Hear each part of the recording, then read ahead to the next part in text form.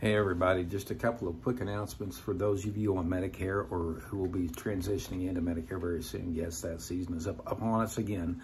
Uh, so just a couple of quick announcements, um, plus one very important thing I think you need to know.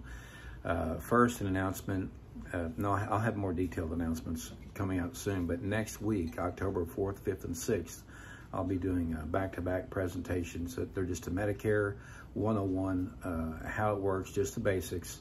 Uh, I've got one on Tuesday the 4th in St. James, Wednesday at the Senior Center, Salem Senior Center on Wednesday the 5th, and then at the center in Rolla in the meeting room uh, B, I believe it is, on uh, Thursday the 6th. Uh, and they all start at 10 a.m. so you can pick one of those, but I'll be announcing those separately in separate videos. You'll see flyers and stuff around, uh, ads in the newspaper. So um, the thing that I want you to know that's very, very important because this came to my attention today, um, it is illegal for any Medicare agent or Medicare broker to begin talking about 2023 plans yet, but we cannot do that before October 1st.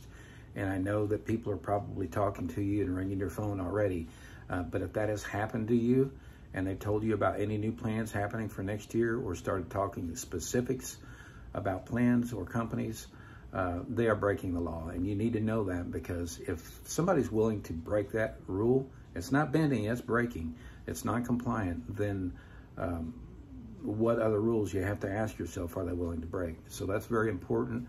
Uh, you want to work with somebody who is, uh, you know, will follow the rules and, and, and do things the right way. Uh, so that was just a quick thing that, that did come my attention today. Uh, and uh, one last announcement, just be watching my, my personal Facebook profile and my Missouri Life Broker, Mo Life Broker on Facebook for upcoming videos, just little short educational videos to kind of help you navigate the waters. And again, as always, if you need my help, just want to ask a question or whatever, you're free to call me. Uh, my phone number is right below. Thanks for your time.